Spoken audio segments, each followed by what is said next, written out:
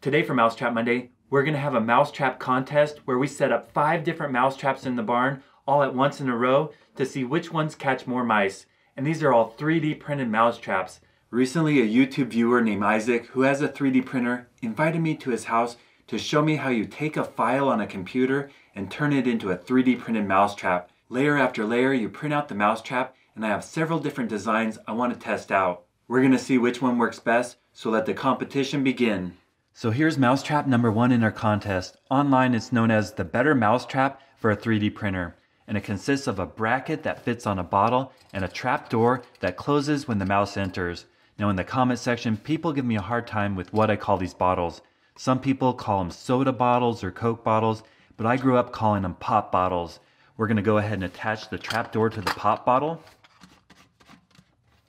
You can see how the door spins. Now I did add weight in here I didn't have the foreign coin that was in the pitcher, so I added a washer. Now we'll attach the bracket to the pop bottle. There's a round in on bottom so it rocks. It fits in like this. To set the trap, you push the back of the bottle and lift the door. The mouse will enter trying to get the bait, and as it does, the door closes. Let's go get a pet mouse and see what happens. Go on inside.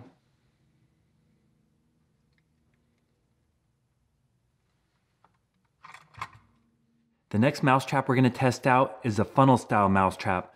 Online it's known as the bottle living mousetrap, and it's similar to a mousetrap I already featured, an antique version known as Old Tom.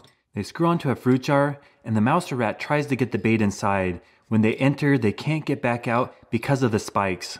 Now these have threads and they screw into a bottle or a box created by the YouTube viewer, Isaac.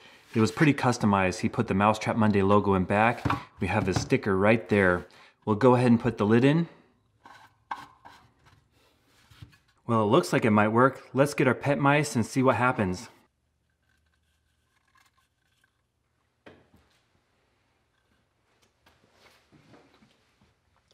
Well, the mouse has no problem going in. The question is, will it keep it in? Mousetrap number three is a fun idea. It's an exercise wheel mousetrap. The mouse enters right here, and when it does, the wheel spins and then it settles with the hole right here above this plate so the mouse can't get out. Now the idea of using an exercise wheel for a mouse trap is not new. A very old style mouse trap is this. It's known as the fairy. It has a cage in front that catches the mouse and then all night long the mouse will spin running. It actually is quite squeaky and that way you can hear when you catch a mouse. So it's not a completely brand new idea, but the 3D printed version is a fun design. Let's get our pet mice and see if they want some exercise.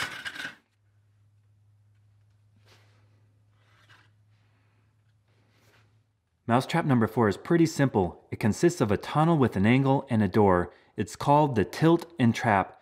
The mouse enters, and when it does, the tunnel shifts and the door closes.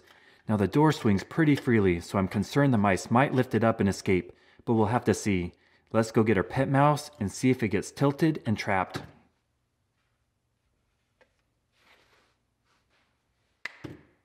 Our final mousetrap is another pop bottle mousetrap. It's customizable and it's called the Simplest Mousetrap V3. The pop bottle snaps in the back of the trap. You have to get the balance point just right. There's lines here for this one. You can see how that's a teeter-totter going up and down. And when it closes, the mouse can't get out. But when it's up, the mouse can enter right here.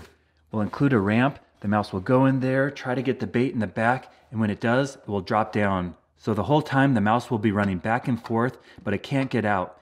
Now I already featured a mousetrap similar to this and it worked very well. It was a bigger version with a 2 liter bottle, but we'll see if this works. Let's go get our pet mouse and see if they teeter totter.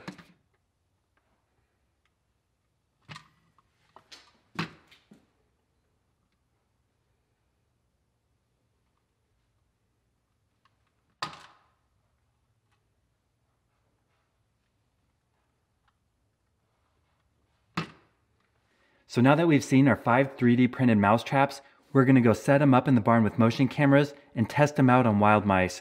Leave a comment down below. Let me know which one you think is to work best.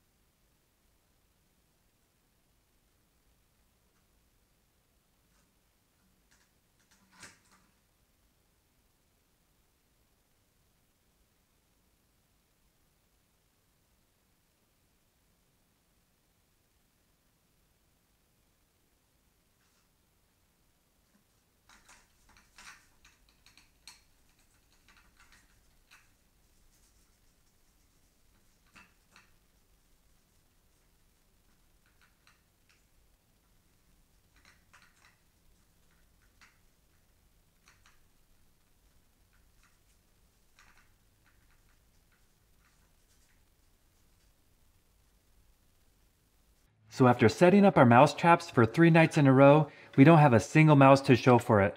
Some of them trapped the mice, but they didn't keep them for very long. The least effective were the bottle with the spiky lid. That was more like a feeding station.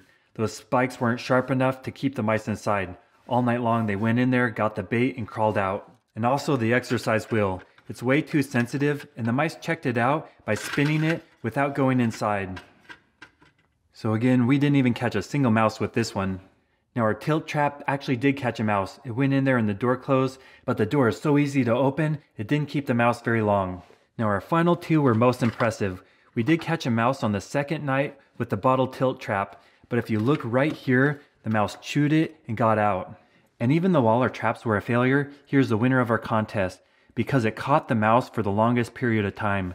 A mouse went in there, tipped the bottle, the door closed, and another mouse tried to help it. It tried to open the door. For about an hour, it worked on that door. And from the inside, the mouse chewed. Right here, there's quite a bit of damage. Eventually, it was able to lift up the door and escape. Well, usually at this time, I do a Q&A where I answer questions from viewers. But instead, I'm going to explain some changes I'll be making to my channel in the near future. I'm going to be posting more often, but shorter videos for a very specific reason. It all has to do with this COVID-19 and how it's affected the world economy. There's so much fear and uncertainty out there. I have family members who have been laid off, friends who have had to close their business doors, and they don't know how they're going to pay the bills in the future. And here on YouTube, I've seen a huge hit. In the last month, the revenue I make from my videos has dropped by over 50%, and it appears to keep going down. I don't know what the bottom is. I actually have a channel manager, someone that works at YouTube, and we were looking at analytics, most of the people only watch the first five minutes or less of my videos. So having shorter videos with more people watching might really help my channel. Plus I'll be able to put more content every Monday and Friday. Thank you so much for the support. People have been watching my channel for years and years. I've been posting videos on YouTube for almost nine years now, and I have over 600 videos. So thank you so much for watching, tuning in, and soon you can tune in twice a week. If you haven't subscribed, please consider clicking the button right here. And if you want to see the best videos on how to catch mice, rats, squirrels, chipmunks, moles, voles, and gophers, stay tuned.